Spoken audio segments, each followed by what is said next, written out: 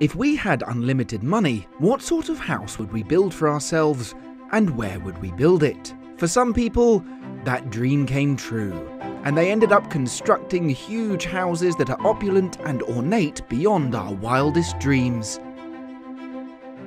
Charme d'Or Estate, the biggest house in Texas. A 48,000 square foot mega mansion in Denton County, Texas.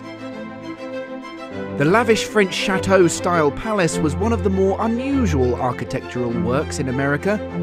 Featured in countless news articles and magazines, set on 40 acres of land, Charme d'Or was built in 2002 at a cost of $52 million. The entrance to the four story abode is just as grand, with a marble foyer, double height ceilings, and a staircase with an iron and copper railing leading to a ballroom.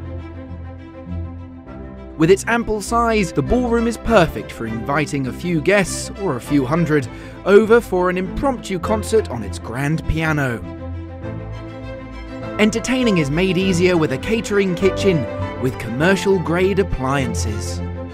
According to the listing, the 17th century French architecture shines from the moment guests come up the driveway, which is surrounded by manicured lawns and gardens. The estate has been rebranded as the Olana and is now a wedding venue.